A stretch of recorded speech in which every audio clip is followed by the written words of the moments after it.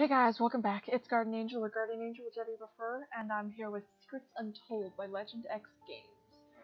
Um, I already love the music, and uh, I like the character, the way the characters look. Um, but I already played for a few, and uh, I already like it. So I, I just, it's uh, usually when I start playing a little bit, I uh, the only reason why I do that is so I, you know, get a feel of the game, you know, check to make sure it's not too gruesome or mature or whatever. Okay. Let's go. 18 years ago, a newborn baby girl was left on the doorstep of Castle Vestus. Turn that down, please. Wrong one. Jeez. How rude. There was nothing notable about her presence except for the unnerving fact that her origin was unknown. Hold on. But yeah, these are my other saves because I couldn't figure out how the heck to delete saves. So I'm going to be saving on here.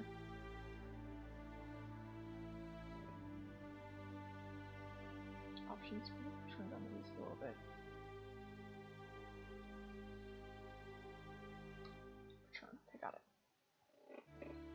How had she found her way to the kingdom, and what clan did she belong to? With not even a single note left with, le, no, no, not with, ah. My tongue needs to be fired. With not even a single, single note left, a single note left in the baby's basket, the girl's lineage was untraceable. But, be right back.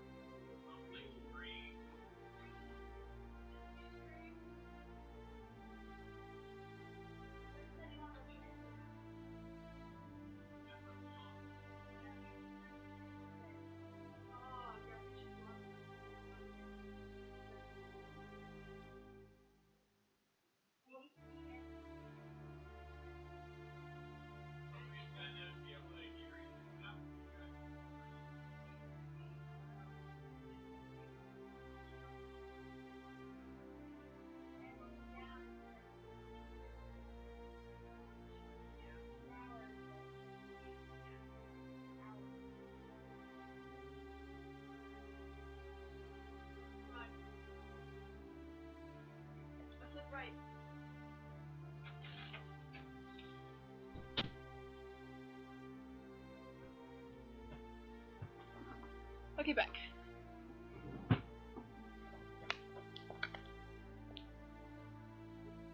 The young queen begged her husband to allow the child to live within the castle's walls. King Rory had a reputation to uphold. He couldn't simply open his throne, oh, open his room, home, and raise the child as his, as his own blood. Yet at the same time, his morality and devout faith would not allow him to leave a child hungry and alone. A compromise was made. The little girl were to remain in his palace, she would have to work for her spot. The baby was placed in the servants' quarters, where she was raised to cook, clean, and serve the king. Despite what it may have seemed like, she was loved and cared for as many other children in the kingdom were. The other servants were her family. Balder, the young prince, was her friend. She hadn't needed, she hadn't needed any more than that. Even though she lived blissfully ignorant in the castle, the young girl was anything but proper. Thus her connection to the royal family was hidden away until Balder had proposed. Then her life changed drastically. What the heck are you doing? Oh, Sir Balder, I apologize for being in your way. The lump in my throat grew as I heard his velvety smooth laugh. How could I be so irresponsible? I must have looked like a total klutz to Balder. Definitely not queen material. Callista! He threw his arms around me to steady me. No need to be so formal. The nobles aren't around. I let out a sigh of relief and hugged my best friend tightly. Good. I don't know how much longer I can be so formal. I just want to put on some pants and run around in the forest a bit. That's a terrible idea, darling. How are you supposed to help me rule Vestus if you're soaked in mud? Dread washed over me. Dread washed over me. Rule? No, that wasn't what I wanted to think about at all. I'd much prefer cheering on Balder from the sidelines. The fate of thousands would be in my hands, and that thought alone terrified Balder, me. please, can we talk about something else? I'm only joking. In fact, I'd like to join you in your mud bath if I may, once all of the ceremonies are over. I'm going to be the Queen of Vestus, and you're totally okay with me rolling around in the mud?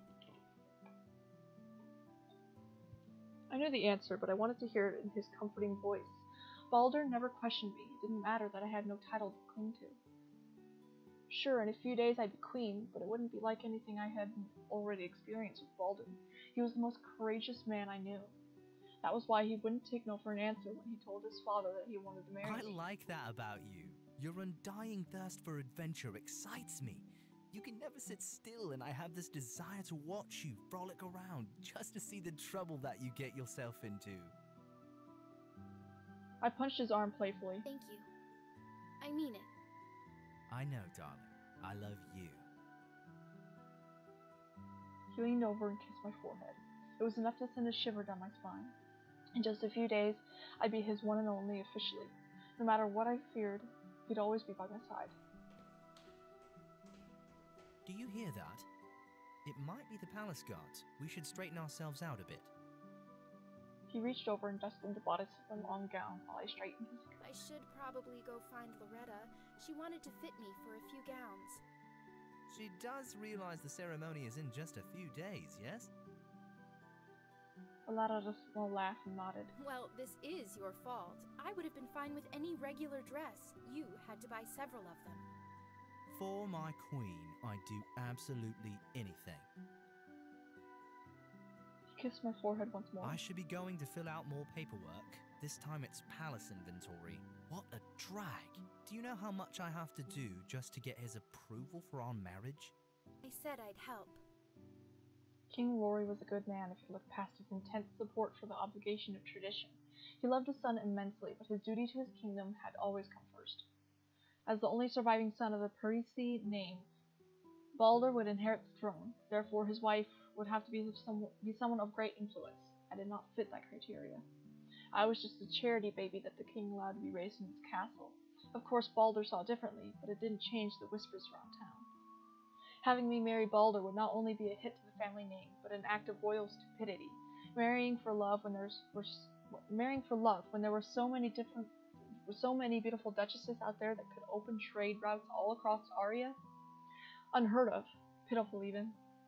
Yet Balder stood firm, and King Rory realized that his son was worth more than a, than a stupid name.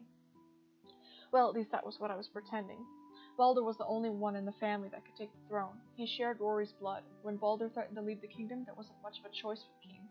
The paperwork was just a little something extra to keep Balder in line. No need to worry, darling. Enjoy your last few days as a regular person. The hard work comes later. Meet me in the garden tonight.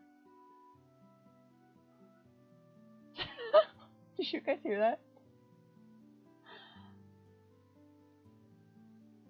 I nodded curtly. Same time as usual?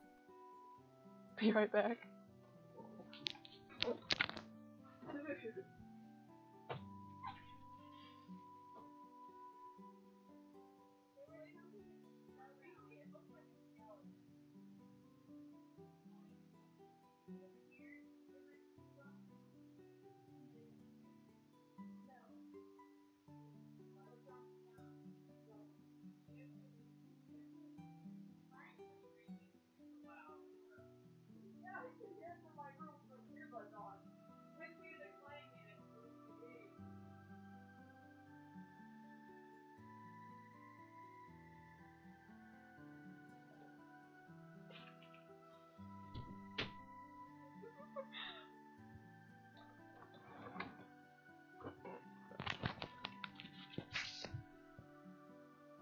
Sister's playing a horror game. Well, not really a horror game. She's playing Thief, but there's, well, she's in an asylum in the game. So, lots of creepy stuff are happening. So she's like screaming and stuff. Balder and I met in the garden every single night since we were old enough to roam the castle without a maidservant. As we got older, I remained carefree, but Balder He had more important things to worry about. He had archery lessons, dinners to attend, and diplomats to meet. But even with all the stress of his impending kingship, he found time for me in the garden. With a short nod and a wave, he, he left the room. There wasn't much else I could do, so I decided to go to my dressing room to see Loretta. If you're really going to be queen in a few days, you're going to have to work on being more prompt. My ears were met with a discordant voice. Loretta, as whiny as usual. Sorry, I was caught up doing something. Do you have the last dress choices so I can finally move on with my life? No need to be so snarky. I have three more dresses for you to try on. Now get a move on. We don't have all year. I groaned. Loretta, please. I'm fine with any dress you choose for me. You know I hate all the attention and fuss. Loretta let out a drawn out laugh. You'd better get used to it, hun. You'll be the queen of Vestus very soon, and attention is all you'll have. Lovely. That's how I would feel. I collapsed onto the chair as Loretta scrambled to pick out a dress for me to try on. Minutes ticked away. Soon the minutes turned into hours. Did I have to have my hair and makeup done for each dress I tried on? Well, what do you think? I simply shrugged and stood up. I was exhausted. I was exhausted, and I needed to take a rest before I met up with Balder. I like them all. It's your choice. Oh, no, Callista! Get back here and make up your mind! She shouted after me, but I was already halfway out the door. I sent her a quick wave before rushing out of the room. Loretta wouldn't allow me to look horrible in front of all the noble families of Vestus. I knew I had nothing to worry about. I collapsed onto the sofa in my room. It was so nice to finally be off my off of my feet. Who knew that being royalty was so much work? The funny thing was that I had, was just given this room after Balder announced our engagement. Save.